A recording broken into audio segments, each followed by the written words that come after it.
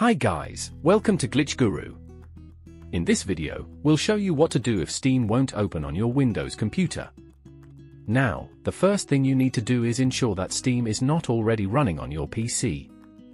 If it is, you should be able to find it by clicking the tiny arrow on the taskbar. If you see the Steam icon, simply right-click on it and select Exit. After this, right-click on the Start icon and select Run from the list. In the Run dialog box, type percentage local app data percentage in the text box and press Enter.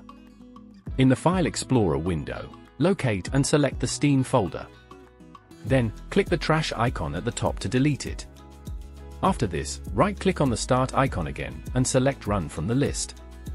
This time, type in the command shown on the screen.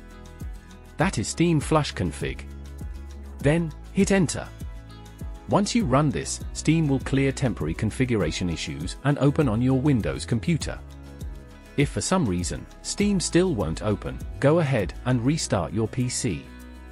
Then, right-click on the Steam icon on your desktop and choose Run as Administrator. This should get Steam to open and work as expected on your Windows computer.